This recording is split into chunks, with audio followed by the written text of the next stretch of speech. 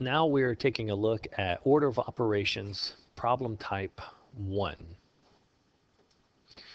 So we're giving something to evaluate and we're asked to follow the order of operations to evaluate this problem.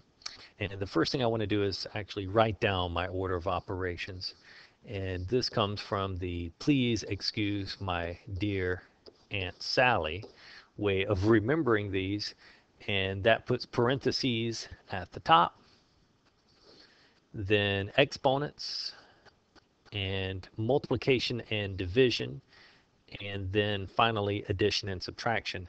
I like to write it this way because it shows me top to bottom. That's the way I'm working down. And it reminds me that multiplication and division get done together. If I have more than one, I just go left to right. And it also reminds me that addition and subtraction get done in the same step. And if I have more than one, I just go left to right. So in this problem, I do not have any of the top two. I don't have any parentheses and I don't have any exponents. So I really start off right here as my first order of operation is going to be multiplication and division. But keep in mind, this does not say multiplication and then division. It says multiplication and division get done at the same time. And in this problem, I have division and I have multiplication. So they need to get done from left to right.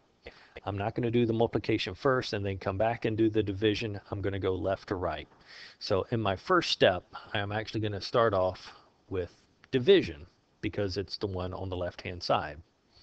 So I'm just going to bring that down 15 divided by 5 that would give me 3 and now I'm just going to bring down everything else. Plus 4 times 6 minus 9 because I've done one step. I like to do one step at a time. I have done the division and looking at what I have now I still have this multiplication. So that is going to get done next. So in my next step, I'm just going to bring down the 3, bring down the plus, let's see, 4 times 6. That gives me 24. 24 and bring down the minus 9. Notice I really had two steps doing multiplication and division because I had to go left to right. I did the one on the left and then the one on the right. And ironically, now I have addition and subtraction. That's all I've got left. And we know that addition and subtraction gets done together. And it gets done, again, from left to right because I have more than one.